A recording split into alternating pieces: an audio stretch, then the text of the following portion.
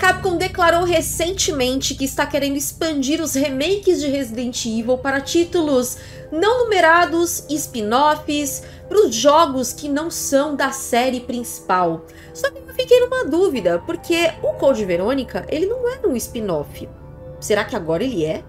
Olá pessoal, estamos começando mais um vídeo aqui no Resident Evil Database. Eu sou a Monique Alves, eu sei que eu tô sumida de fazer vídeos por aqui. Ai gente, olha, sério assim, um dia apareçam nas lives, que aí nas lives a gente conversa melhor, um dia eu explico tudo, ah, eu tô meio birutinha, mas enfim, estou aqui para trazer o último assunto, os últimos assuntos, na verdade, porque eu tô gravando mais de um vídeo, tá? Os últimos assuntos sobre Resident Evil aqui com vocês. E a novidade agora é que a Capcom tá querendo expandir os seus remakes de Resident Evil para jogos que não são os títulos principais, tá? A gente vai falar sobre isso. Mas antes, você já sabe, eu vou pedir para você já se inscrever aqui no canal se você não for um inscrito, para você deixar o seu like, porque o like me ajuda muito, porque assim, quanto mais likes e mais engajamento, mais o YouTube entende que esse vídeo é relevante, que as pessoas estão gostando do assunto, e aí ele recomenda para mais pessoas e com isso o canal cresce. Então também compartilhe com seus amigos, que é pra gente continuar expandindo aqui no YouTube também. Bom, gente, essa declaração veio durante uma reunião de acionistas ali da Capcom com seus acionistas. Essa informação foi reportada pelo site internacional Games Radar e depois quem repassou essa informação foi o Eurogamer, né? Então foi assim que a notícia se espalhou, digamos assim. E aí a Capcom, durante essa reunião, ela teria sido questionada se ela pretende fazer, entre aspas aqui, remakes apenas dos principais jogos numerados da série Resident Evil. E a resposta deles foi a seguinte, vou abrir aspas aqui também. Estamos conversando sobre a futura expansão desta série para que ela possa ser apreciada por um público amplo.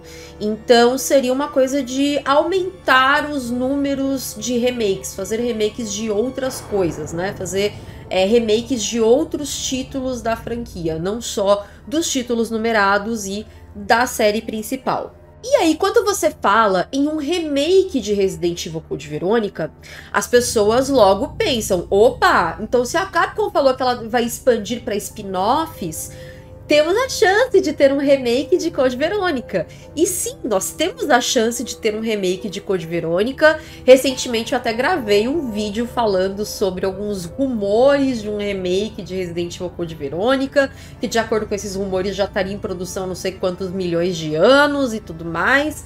E, enfim, depois vocês vejam aí esse outro vídeo. Mas a questão é a seguinte: se eles estão querendo expandir para spin-offs, tem um pequeno problema. Porque tecnicamente o Code Verônica não é um spin-off. Ele é um jogo da série principal, mesmo ele não sendo um numerado.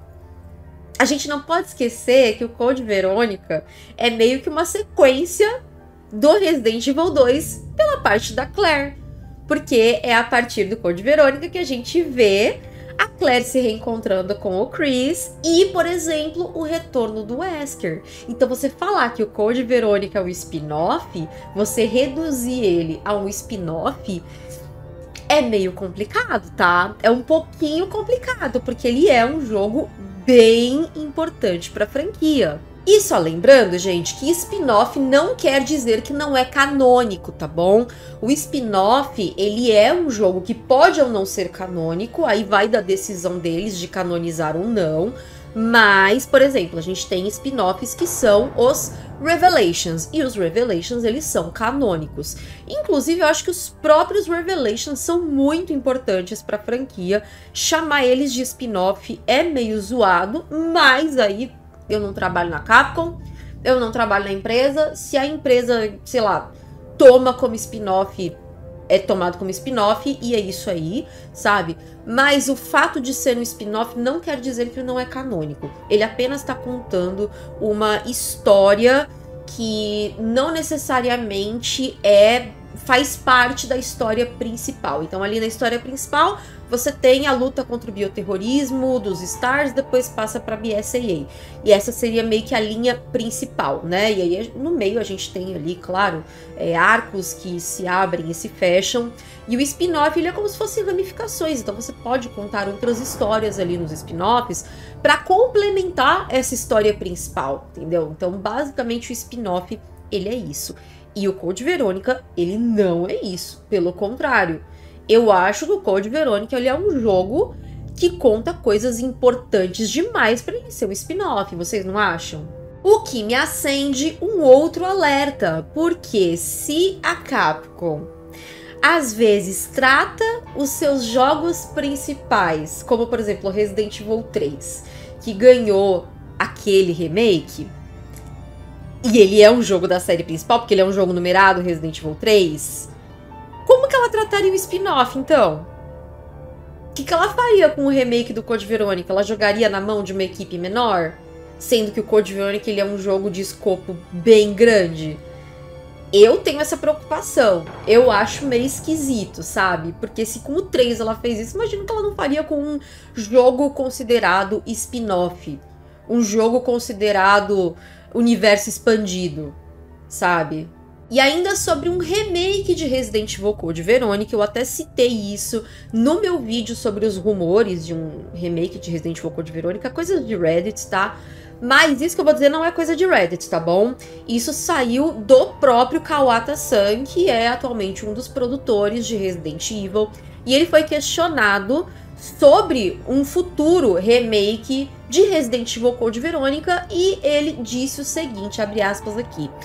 Ele não disse nem que sim nem que não, tá? Mas aí ele disse: Aparentemente os fãs ficaram felizes em ver Claire e Chris juntos no Death Island, sendo que o Death Island é a animação mais recente da franquia, né?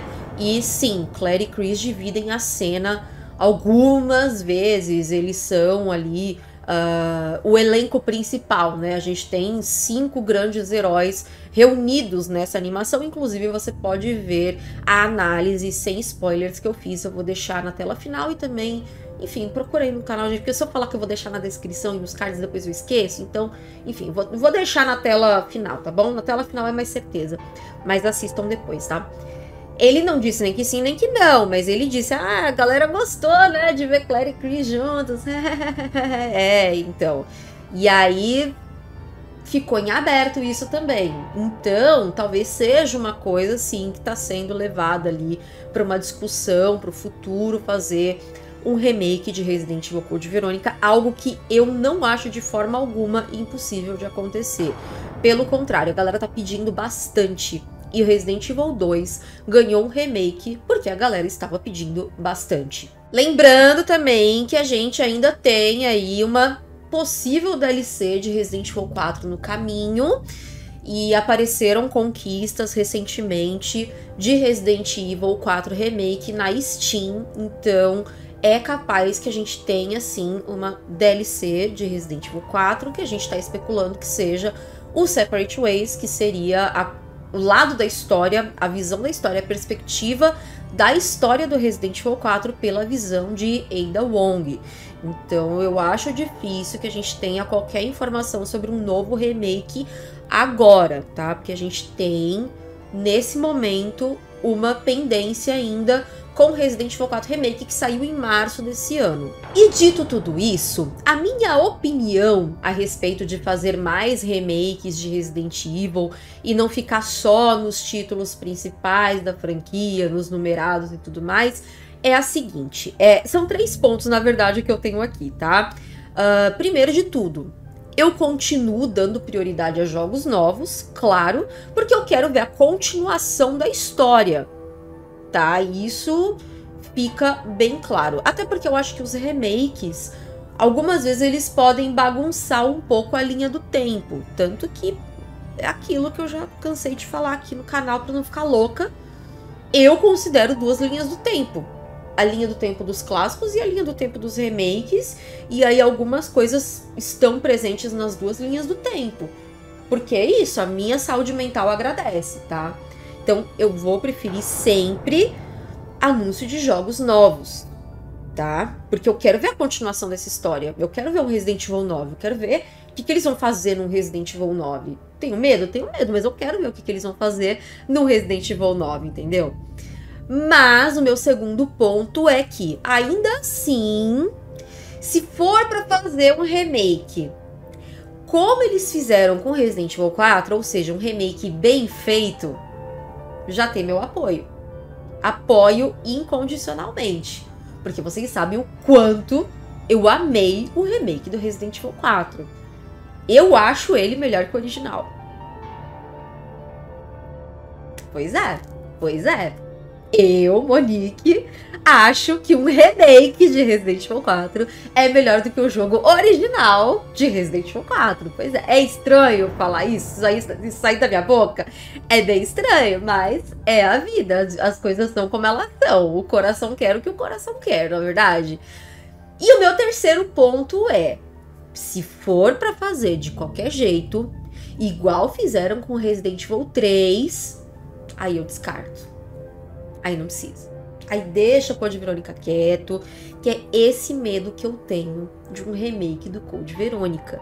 Porque se eles fizeram o que fizeram com o 3, que é um jogo da série principal, um título numerado, um título. É, um, um dos títulos principais da franquia, imagine que eles não fariam com um jogo que eles consideram de. Ah, é um spin-off, é uma expansão, é um jogo menor, menor em importância, não em tamanho, tá? Bom, comenta aí embaixo o que vocês acharam desse vídeo. Lembrando que a gente vai comentando as coisas aqui sempre com o pé no chão, tá bom? Então, às vezes sai o rumor, eu vou trazer vídeo aqui de rumor, mas sempre com aquela coisa de pé no chão. Eu não quero ficar fazendo alarde do tipo, ai, olha, meu Deus, será que vem aí um remake do Code Verônica e tudo? Ah, meu Deus, será que eles já estão produzindo? Eu não tenho como saber, gente, eu não trabalho na Capcom, tá? E eu também não quero ficar levantando expectativas em vocês para depois todo mundo se decepcionar, inclusive eu que sou fã também, né, gente? Então, eu tento manter sempre o pé no chão. Eu prefiro assim, eu não sei como vocês preferem. Quando eu falo, às vezes, é, essas coisas de dar uma puxada para baixo, sabe?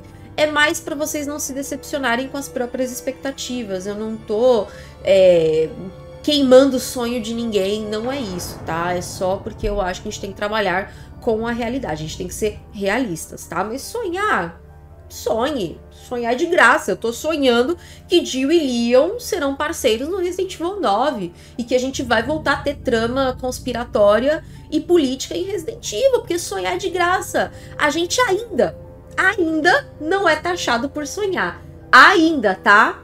Ainda. E se você gosta do trabalho que eu faço aqui, considere se tornar membro do nosso canal, clicando no botãozinho Seja Membro aqui embaixo no player. Se não tiver o botãozinho, tem link na descrição também. E a partir de R$ 2,99 por mês, você já apoia o trabalho que eu faço aqui no nosso site, que é o residentevildatabase.com e também nas demais redes sociais em que estamos presentes. Eu vou ficando por aqui. Um beijo para todo mundo, até o próximo vídeo e tchau!